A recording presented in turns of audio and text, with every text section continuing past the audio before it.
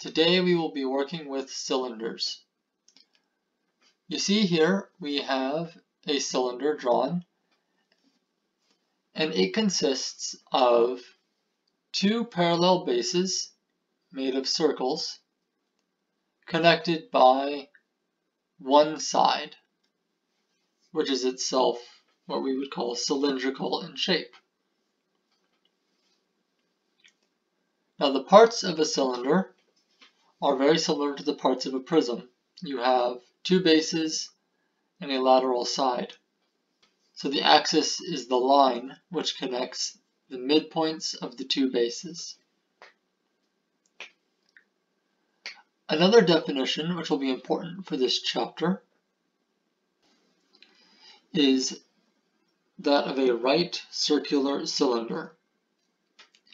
A right cylinder is a cylinder in which the midpoints, the line connecting the midpoints of the two bases is perpendicular to each base.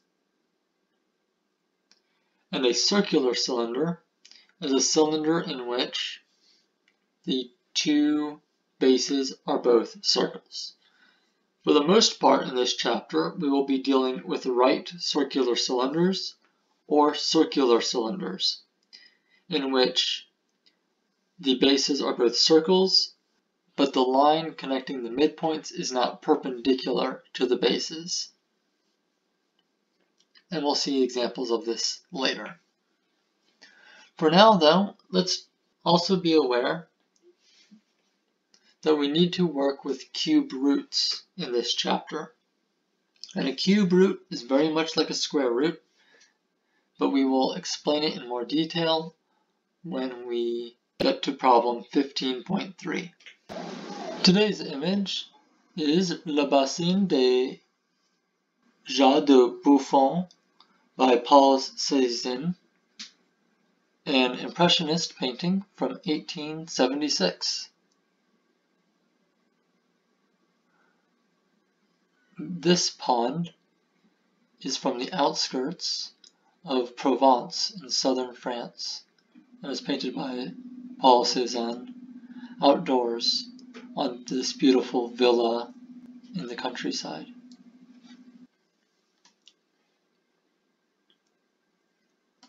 Alright, so let's move to problem 15.1.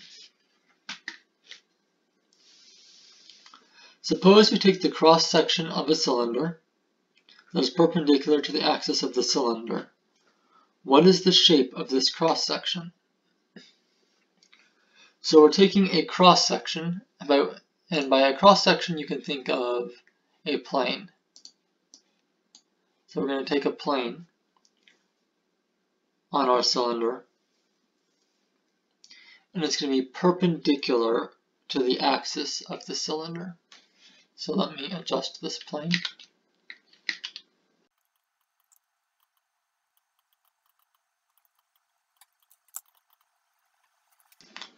And it's perpendicular to the axis, meaning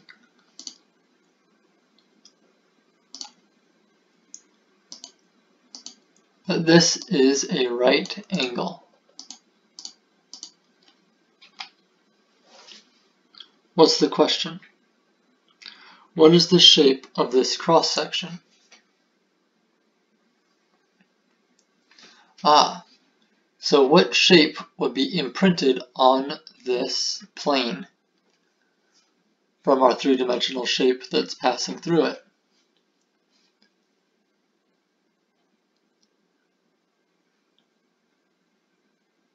I'll give you a moment to guess.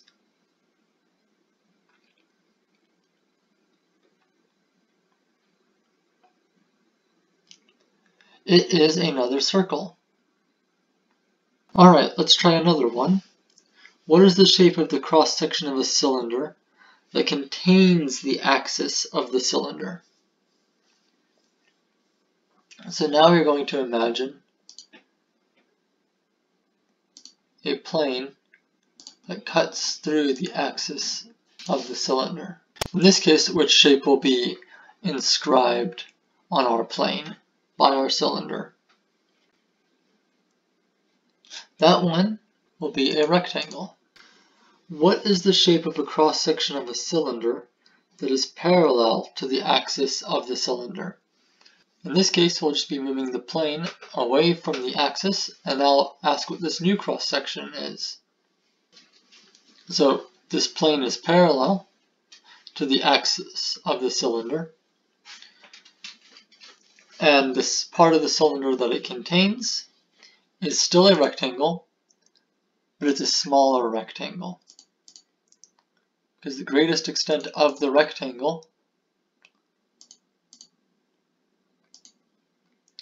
its greatest width is its diameter and all of these other chords will be smaller.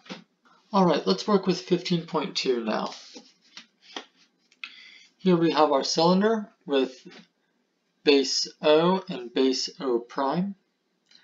Here we have our cylinder with centers O and center O prime. It's worth remembering that this symbol means prime, and we use O and O prime as opposed to, let's say, O and P, because prime lets us know that these have a relationship. O and O prime have the relationship of being identical midpoints on identical circles. And so using the prime notation emphasizes that for us. So this figure has a radius of 3 and a height of 5. So which of these lines is the radius? Is it from O to X or from O to O prime? O to X is the radius, and it's 3. And O to O prime is 5. Find the volume of the cylinder. Ooh. We have not been told how to find the volume of a cylinder yet, but we can still use our rule from the volume of a prism. The area of the base times the height.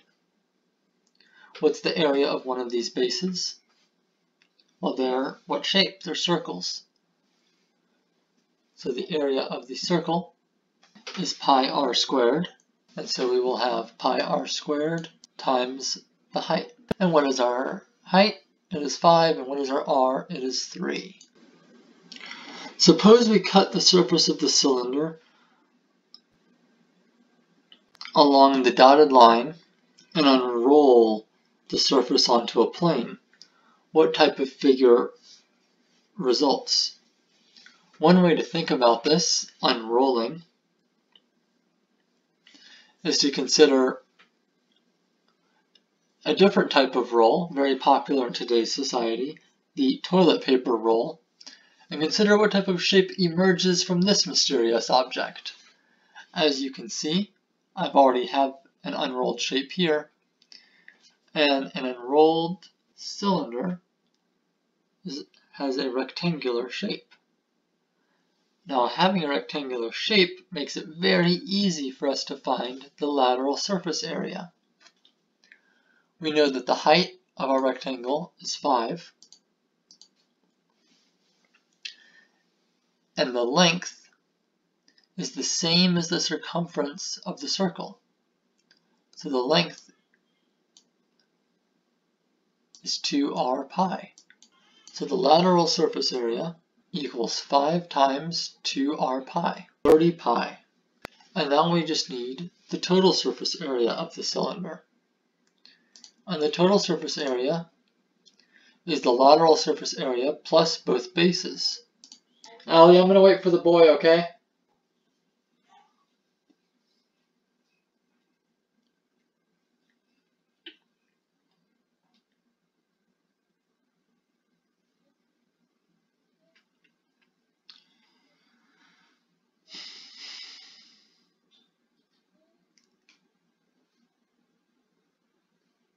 30 pi plus 2 times pi r squared, because pi r squared is the area of one base.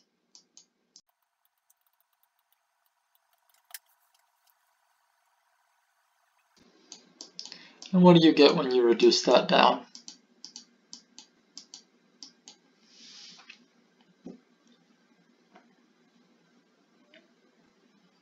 30 pi plus 18 pi, 48 pi.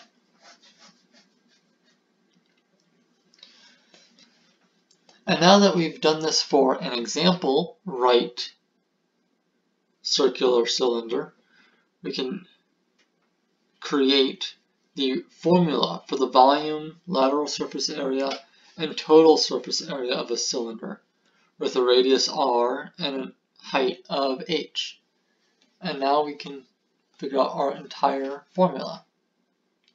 So in this case, the volume is pi r squared times height. The lateral surface area and the lateral surface area is pi times the diameter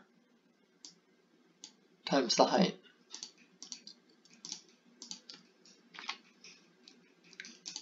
And the total surface area is the lateral surface area plus both bases. So that is pi dh plus 2 pi r squared. Excellent job. Okay, let's move on to our last problem. And in this problem, we're going to have to take a cubed root. And so, I want to introduce you to the cubed root first, how to work this out. So what's the square root symbol? It's this one. And the implication in the square root symbol is that there's a little 2 right here, letting you know that it's square root. The cube root has the implication of a little 3. Just as squaring undoes the square root, and a square root undoes a squared variable, so too does the cube root undo a cubed variable and a variable cubed undoes a square, undoes a cube root. So let's look at an example.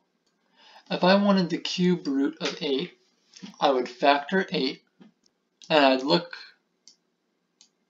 for three of a kind as opposed to two of a kind in order to spring out of the square root jail, out of this radical jail, if you will. So 8 uh, is made of three twos, and so the cube root of 8 is 2. Those three twos can spring out. Let's take the cube root of 16.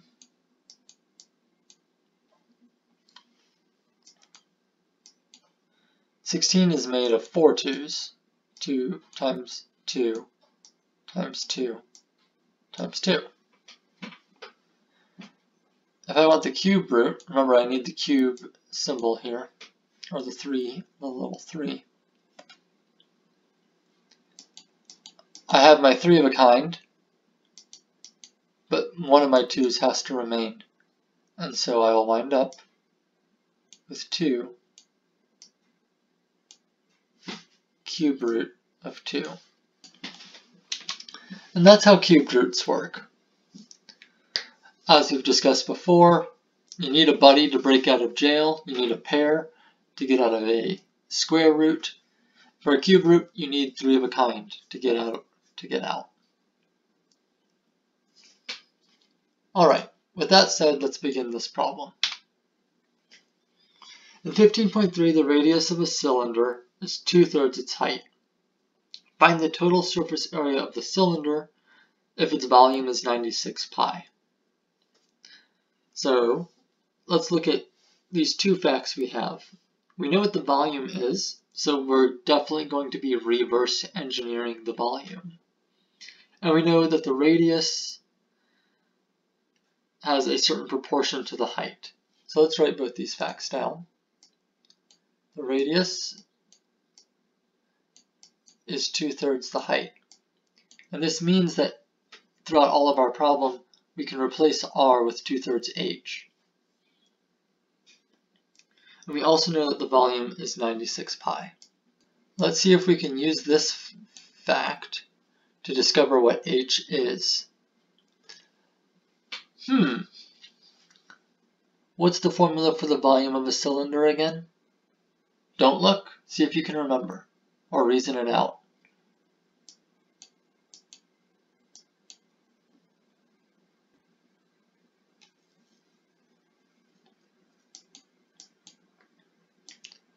Volume equals pi r squared times height.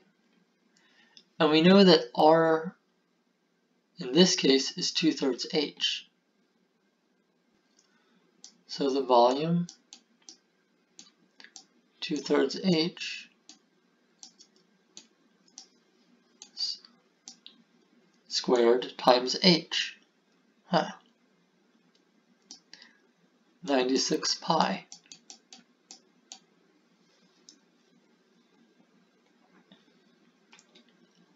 Now we can reduce this problem down and figure out what h is. And you might be intimidated by it because we have a 2 thirds h that's squared, and I know that's intimidating for many algebra students. And we are going to have to be doing some work with fractions and exponents. So we'll break this problem down. We'll square each thing one at a time. What is 2 squared? It is 4. 3 squared? 9. h squared? h. We're going to multiply, and then we have another h in here. and this makes our life much easier. 4 over 9, 4h cubed over 9 times pi equals 96 pi. Now we can move our pi to the other side by dividing both sides by pi. Oh, that cancels the pi's out. We can get rid of our 9 by multiplying by 9. Ooh, what's that going to equal? Quick, to your calculators, friends. So we have 864 equals 4h cubed. And then we can get rid of our 4 by dividing by 4. We'll wind up with 216 equals h cubed. And now we have to undo the cubing. So we're going to take the cube root of both sides. I do want you to get this, so work it out with me or try to work it on your own in advanced. Okay, let's reduce this by dividing it by 4. I think that's the obvious thing to divide by. That's probably what you will divide by. So you get 4, 54. Now let's divide our 54 up. Well, that's 9 and 6. We can divide our 9 up, 3, 3, our 4 up, 2, and 2. Yeah, that's okay. Our 4 up into 2, and 2, and our 6 up to 2, and 3. You'll notice that we have 3 of a kind on 2s and 3 of a kind on 3s. So we'll pull both of them out and multiply them by each other. h equals 2 times 3. h equals 6. Alright, so we found our h. And all that's left to do now is find the total surface area of the cylinder. We know what h is, and that means we can find r. r, as you recall, is 2 thirds of 6, 2 thirds of h. So r equals 4.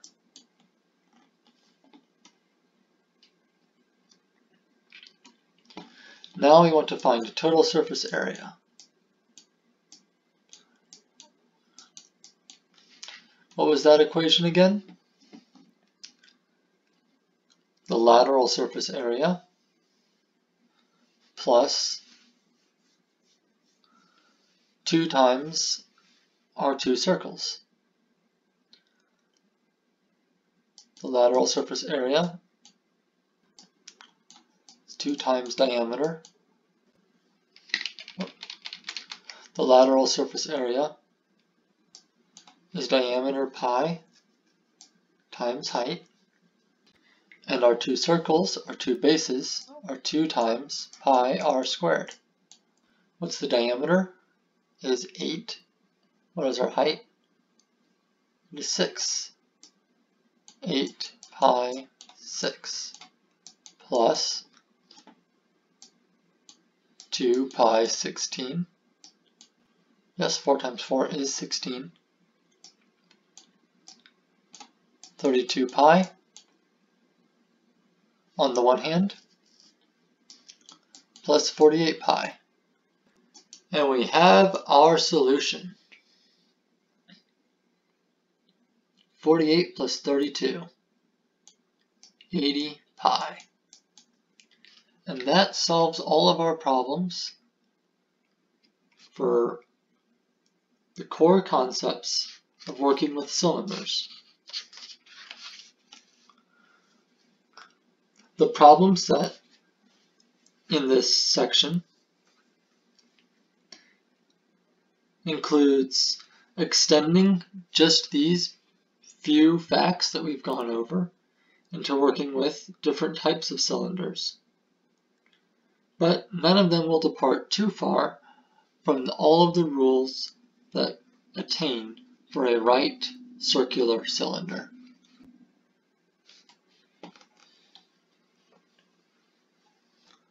Thank you very much. You have a wonderful day.